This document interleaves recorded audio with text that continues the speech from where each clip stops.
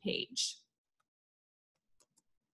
So now we'll transition to the topic of today's webinar, which is titled Common Workforce Challenges Identified in the Missouri Food, Agriculture, and Forestry Workforce Needs Assessment. Presenting on this topic is Dr. Mark White, who is an Associate Extension Professor, State Extension Specialist, and Interim Director of the Institute of Public Policy in the Truman School of Public Affairs. So thank you, Mark, for presenting today. If you could please start your video and unmute your microphone, then we can begin today's presentation.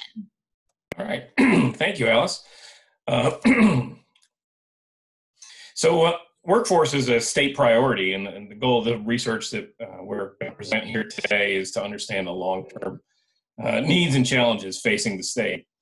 Um, for, in terms of this research, we um, when we looked at food, ag, and forestry, we, we looked not just what's going on in the farm, but we also some broadly defined food, ag, and forestry industries. And the goal really was to understand the jobs that employers in those industries need to fill over the next decade and identify some of the, the current and, and future workforce challenges that they have. To, um, and so um, we, um, to, to do this, we um, uh, took a mixed methods approach. We used a lot of uh, labor market information, so looked at employer trends and projections. Uh, we conducted an employer survey, uh, and we conducted a series of focus groups and key informant interviews. Now, a lot of the primary research, the survey, and the focus groups happened between January and, and early March of this year, so uh, kind of pre-COVID-19. Um, but really, the thought with this research is that it's uh, if we ever return to some semblance of normalcy, a lot of the challenges that we uh, that we uncovered are, are, things that are going to be lasting uh, lasting challenges and that, that need to be addressed. Um, and so uh, as we take that longer term perspective, that's what we're looking for. Now, one of the things that we, uh, in terms of pulling together this report, uh, is we you know delved into a lot of some of the deep, uh, some of the issues related to some of the more detailed uh, and specific occupations and some of the challenges in, in filling some of those specific occupations. Uh, but today I'm going to cover some of the broader workforce issues facing food, ag, and, and forestry. Now, one of the important uh, kind of distinctions that we need to make as we as we uh, as we uh, examine these issues is that our focus uh, for a lot of our analysis really focuses on occupations more so than industries. Occupations are what workers do. Industries are what companies make. Um, and by looking at those occupations, we get a sense of, of, of the types of jobs and employers uh, within food, ag, and forestry need to fill. Now, uh, there's an important distinction that needs to be made when we look at these occupations that there's uh, two types of occupations. There's occupations that are unique to food, ag, and forestry, whereas, you know, like a, a farmer, uh, for instance, uh, is going to work in uh, production agriculture. And then there are other jobs, uh, whether they're managers or, or uh, whatnot, that are in demand throughout the workforce. So, as an example, uh, for example, 63% of Missouri's food scientists and technologists work within the 98 food, ag, and forestry industries. Now, by contrast, uh, food, ag, and forestry employers also employ about 2,100 truck drivers. Uh, but this represents just over 4% of the total um, people that work in that particular occupation. And this distinction is important because it to fill these jobs requires two different types of workforce strategies. Where jobs are unique to food, ag, and forestry, uh, we need to create a workforce to fill those jobs. And that means engaging students and generating interest and awareness in these jobs uh, or providing specialized education and training opportunities. For those occupations where, where food, ag, and forestry employers are competing with other uh, employers throughout the economy, um, they need to recognize that they're competing with that and, and, uh, and, and, make those jobs competitive um, uh, within that marketplace. And this can apply to anything you know, ranging from managerial positions to manual laborers. Now, for those jobs that are unique, is we need to start a pipeline of people to move through. Um, and this means uh, engaging students in high school or often in middle school. Now, one of the things that we asked as part of our research, uh, we asked employers how they go about engaging youth.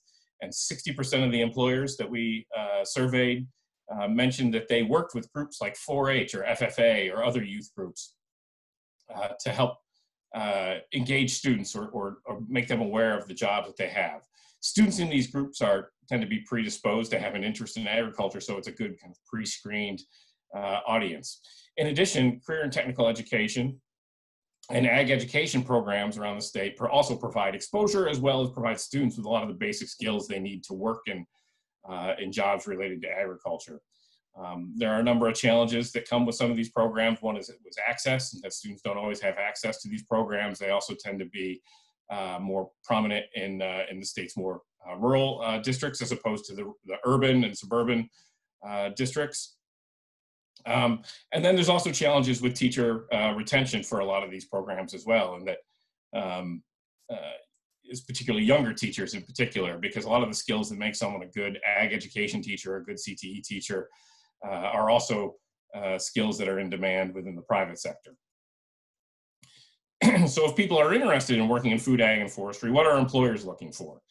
Uh, and we asked employers to identify the most difficult to find skills. And the thing that, uh, that came up uh, again and again uh, is that the most common skills all relate to basic work readiness. The most common in-demand skills or difficult to find skills relate to basic work readiness.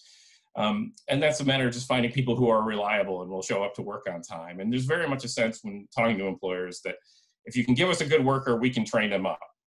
Um, and this is not to say that there's not more in-demand specialized skills, whether it's you know, truck drivers or equipment operators, but uh, predominantly employers are looking for just good workers.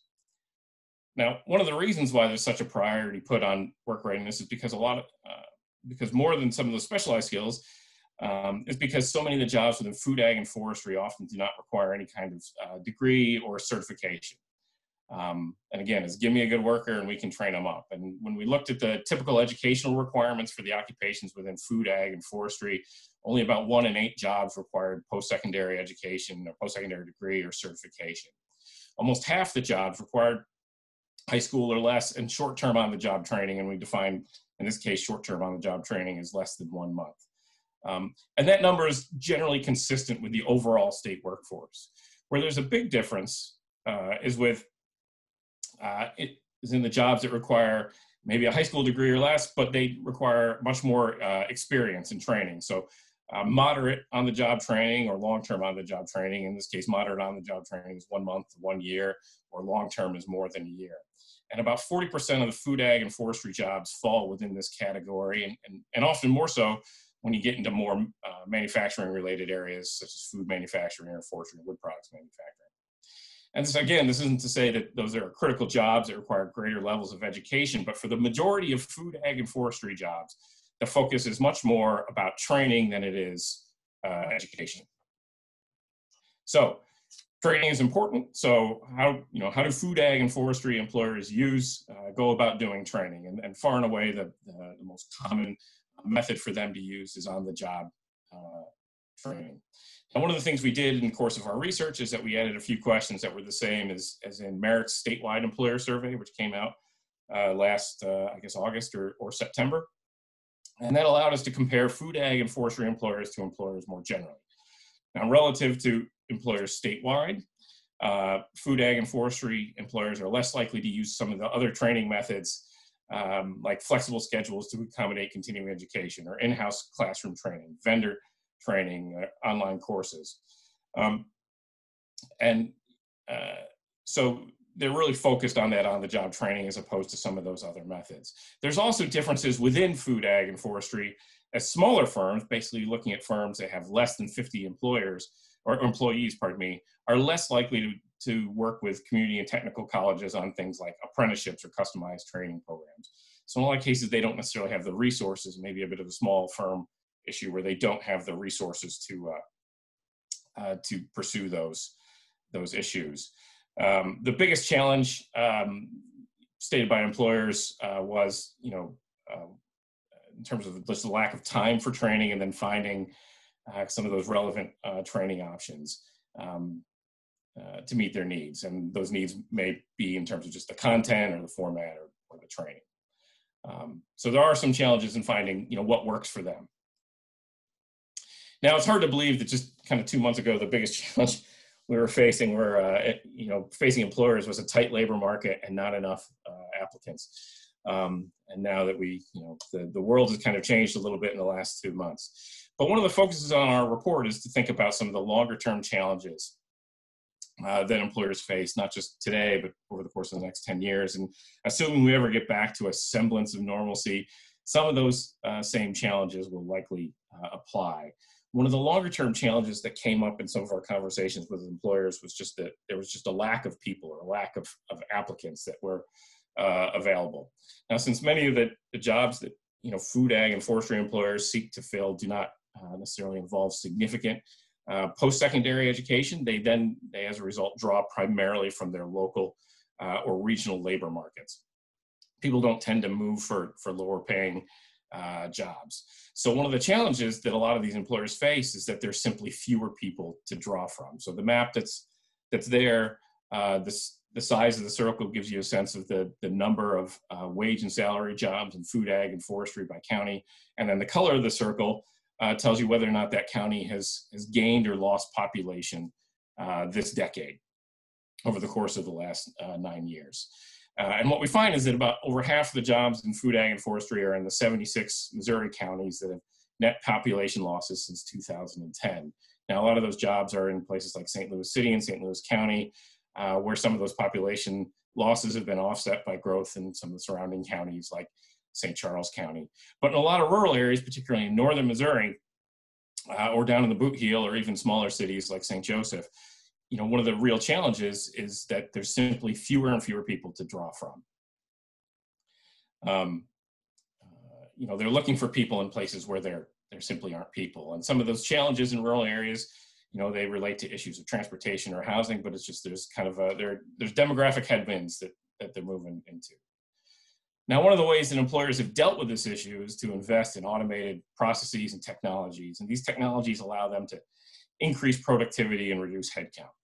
Um, adopting these technologies, though, is not consistent throughout the industry. So almost about uh, 40% of our survey respondents indicated that they were not automating process, uh, they were not using automated processes, while another 40% uh, or so was either making significant investments uh, or planning to make uh, significant investments in, um, in automated technologies and processes the biggest barrier for a lot of firms uh, was was an inability to afford these technologies. And again, um, you know, that's a bit of a small firm problem. They can't afford uh, the upfront cost of, of, of, installing new systems, or they simply can't uh, assume the risk that comes if, if those uh, investments don't deliver as expected.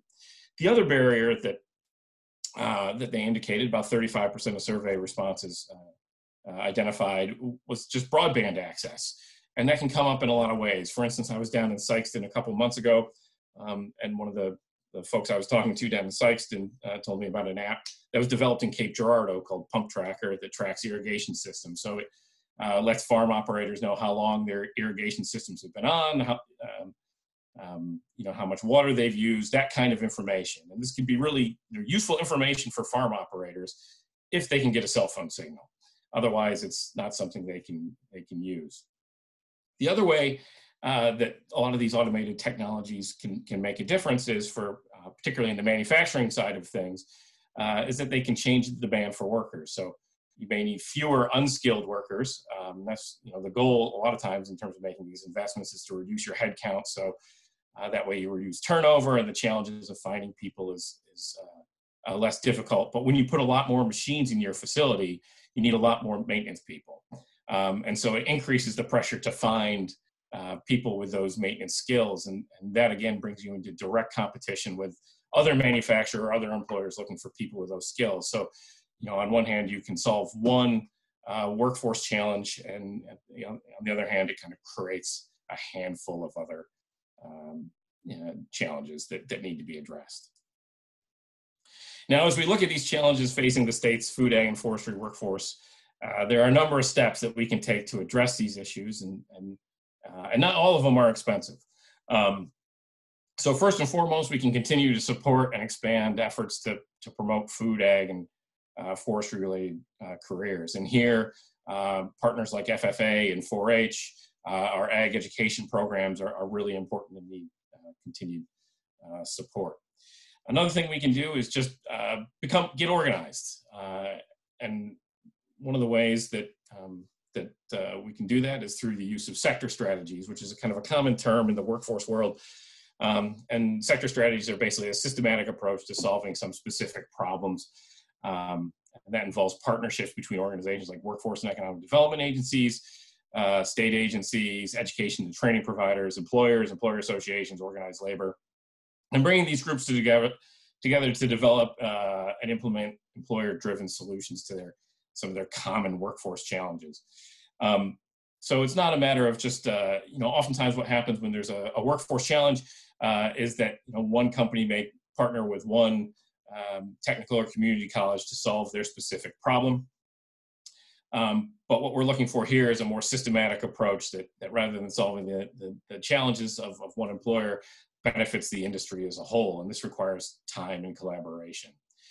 Uh, another thing that we can do is, is promote a lot of the existing uh, support initiatives and services that we have, and those, whether it's the state efforts to uh, expand apprenticeships within the state, uh, or one of the challenges that we heard in, in a lot of instances, whether it's in veterinary services or in uh, you know small farms, is that these are small businesses and people are trained to be veterinarians or they're trained to be uh, farmers, but they don't necessarily pick up the business skills that they need to make their enterprises viable. And there are a lot of support services that are out there to help people, whether it's the Missouri Small Business Development Center, or if you get into the manufacturing space, Missouri Enterprise. And so making people aware of these support services rather than creating new stuff is just making better utilization of the of the programs that we have is, is important.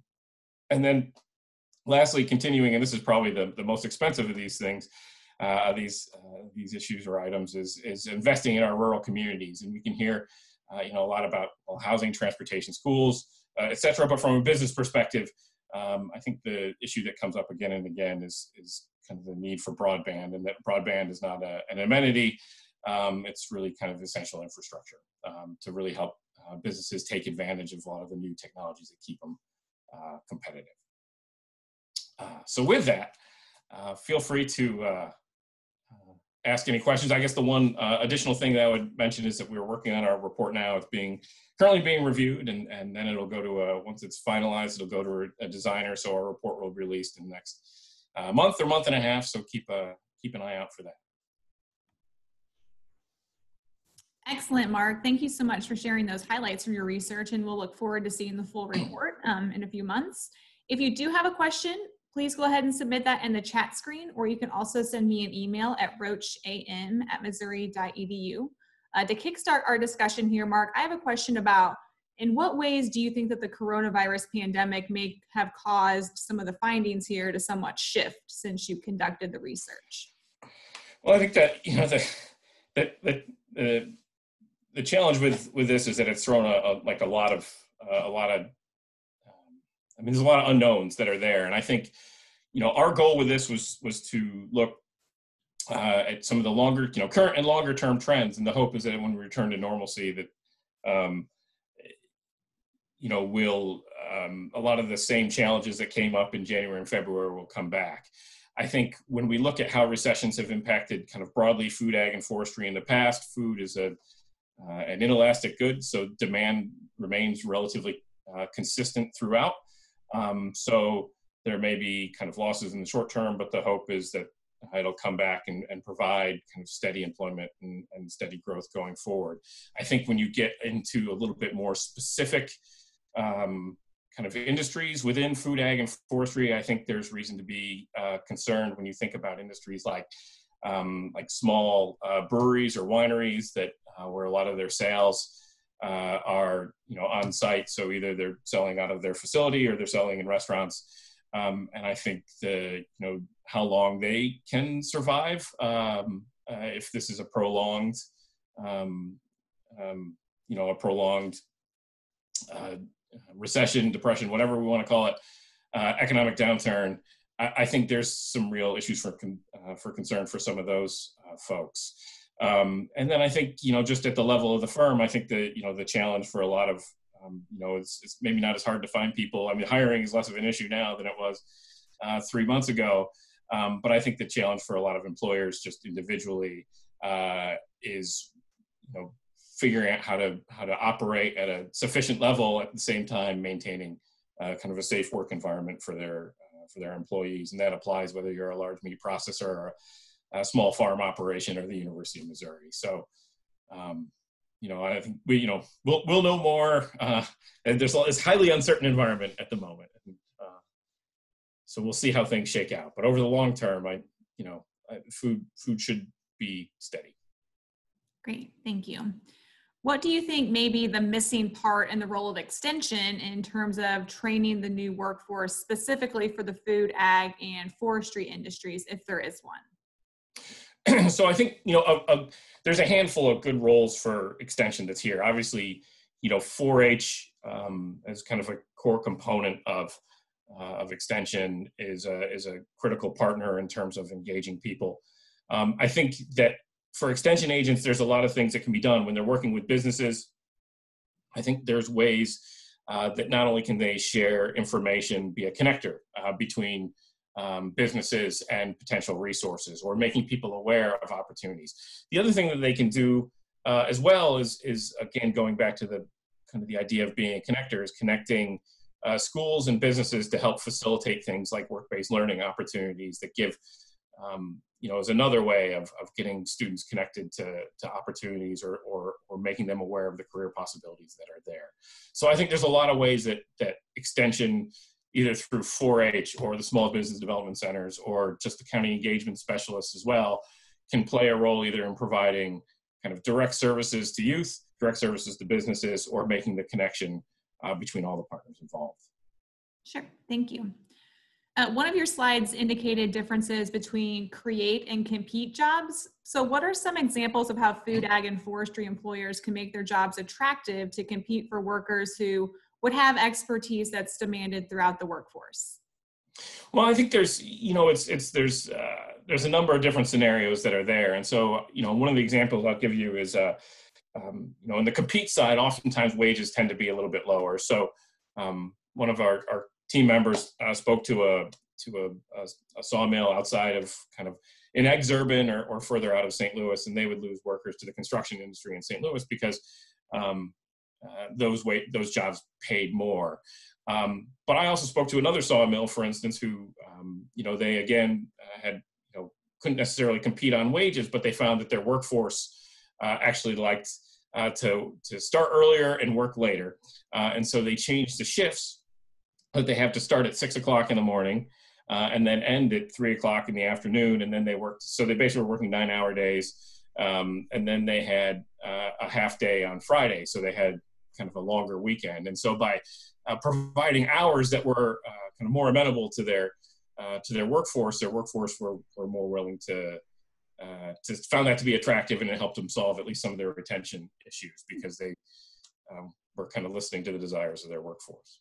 Sure. Yeah. I think a lot of ways that employers can be creative about, um, you know, about some of what they do. Um, in other cases, there's, you know, there's certain uh, rigidities in, in food. If you, you know, you talk to a kind of a, a dairy, you know, someone who works at a, a, dairy, well, people shop on weekends and, and milk is perishable, so they have less flexibility in their, their time, uh, their time frame. But I think there's a lot of different ways, not just on wages, that, that uh, employers can compete. Great.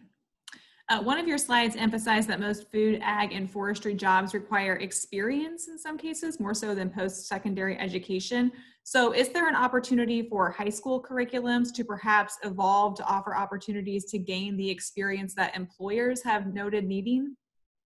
Yeah, I think this is one uh, where uh, getting back to the idea of uh, work based learning opportunities um, are really uh, important. And oftentimes these happen. Um, kind of in an ad hoc basis between an you know an ag uh, an ag education teacher might have a connection with a an employer um, but i think if we can find ways to make those um, opportunity you know systemize those opportunities a little bit more rather than just kind of based on relationships mm-hmm. i think that's always a you know a good thing to get students real um, work experience so that when they enter the workforce they they not only have an idea of they have those, some of those you know they're aware of the work, the, the kind of the, the work readiness skills that they need, um, but they also have some basic experience working in those types of firms, so they have a little bit of a head start. So the more work-based learning opportunities we can create, the better off we are.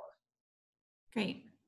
Um, the research overwhelmingly shows how food, ag, and forestry employers rely heavily on on-the-job training so, what are some types of resources that would help to make them more successful in offering on the job training that's effective in teaching the skills that their employees need to have?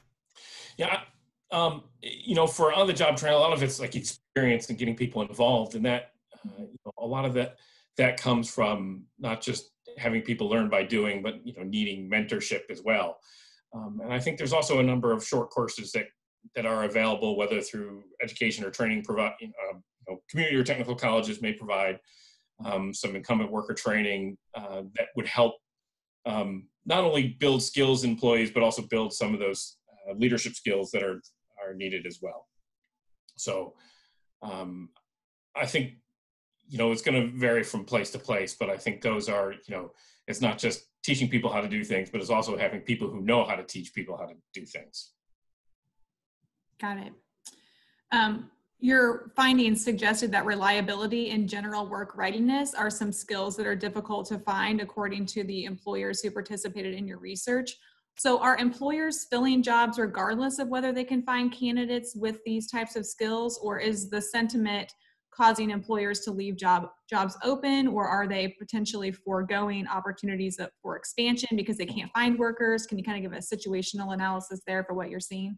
So we uh, we we did ask um, we did ask employers and and and, employers i think it was about 78% of uh, our survey respondents said that they hired people that didn't have that, that weren't turnkey employees that didn't necessarily have this uh, the skills they needed but then they trained them up um, and that was more than the statewide survey that was there. So, mm-hmm. uh, so the answer is yes, they're continuing to, to, to or at least they were um, going back to kind of January into March, they, they were doing that. The other thing that I would add is that for larger employees, certainly, I think that's uh, a challenge. I, I, I, spoke to one large um, uh, meat processor, and they were they because they had you know they're trying to find a lot of people and they have a high amount of turnover. They had left some business kind of uh, on the table because they they couldn't turn on some new machines they had because they simply didn't have enough people to be able to operate it and keep it operating. So I think that is a that is a challenge. Now, you know, as we go forward, um, you know, there's all sorts of issues going. There's less less demand, just generally speaking, in the in the economy, and there's so there's a little bit less demand for uh, for workers and people are less opportunities for people to leave. So turnover should presumably be down. But I think when the economy is moving along, then yes, finding people um, to fill these jobs, I mean, that, that, that can be a real constraint on business growth, uh, particularly as I mentioned in, in, more rural areas where there's just simply not uh, people. Right. Uh, one last question for you. You mentioned how engaging with youth is particularly important in order to build that talent pipeline. So in your research, did employers indicate what types of efforts they found to be most effective? I know you looked into the types of methods that they're using, but did they indicate effectiveness of the different methods they're using to build talent?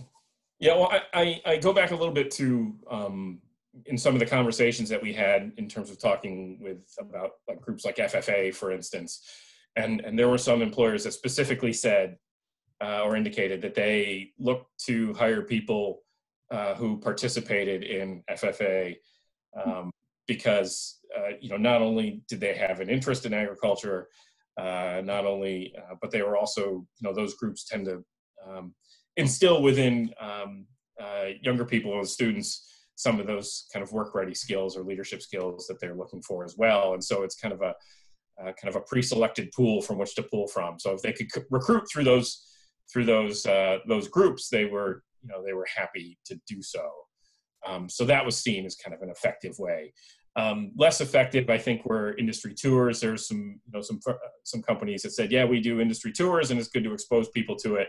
We've never uh, actually hired people uh, because they went on an industry tour, but they I think they looked at it as as uh, as um, you know kind of just one small piece of a broader part of of, of interesting you know uh, stimulating interest in whether it's manufacturing, generally speaking, or in, agriculture as, as being important. Um, I would imagine that industry tours are one of those, you know, facility tours are one of those things that are um, probably going to go on hiatus here for the next uh, a year or more. But um, um, you know, they were good in, in generating interest, if not, but not necessarily leading to specific. I mean, hiring uh, people specifically. Great. Well, thank you, Mark, so much for sharing today's webinar presentation, and thank you to our audience too. When you exit Zoom, you'll see a post-webinar survey will load in your browser. If you could please consider responding, we'll use the results to improve the webinar experience and also brainstorm future webinar topics. Again, you should receive a recording of today's webinar via email within about a day from now. Our next Engaging for Missouri webinar is scheduled for Friday. At that time, Dr. Amanda Alexander, who is an assistant teaching professor with our hospitality management program, will speak about hosting virtual events. So again, thanks so much for joining us and enjoy your day. Thank you. Thank you.